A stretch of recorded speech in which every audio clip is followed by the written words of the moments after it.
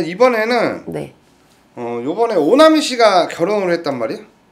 오- 오나미 씨 잘한 거야. 네, 결혼하셔갖고 뭐 잘 살 거라고 다른 저는 잘 살 거라고 네, 봐요. 네, 다른 선생님들도 뭐 잘 산다고 어, 잘 살아. 얘기하셨는데 어.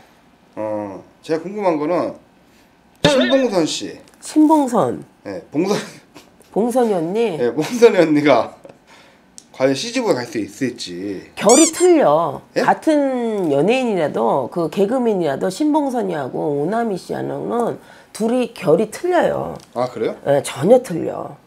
그래서 오나미 씨는 결혼하는 게 맞고 그리고 아마 잘 사실 거야. 그런데 신봉선이는 신봉선 씨 제가 볼 때는 신봉선이는 결혼하시기가 힘들어요. 아 그래요? 예. 왜냐면 그 기운이 그래. 남자를 이렇게 받쳐주는 그게 못 되거든.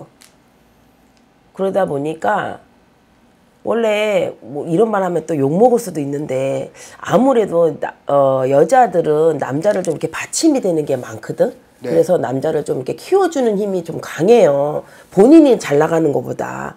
아, 그런데 신봉선이는 자기가 왕이 돼야 돼.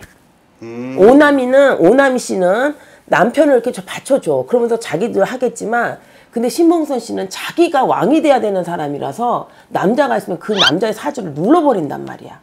그러니까 혼자 사는 게 더 편하고 만약에 결혼해도 미안하지만 만약에 결혼을 한다 해도 이혼할 가능성이 높아요.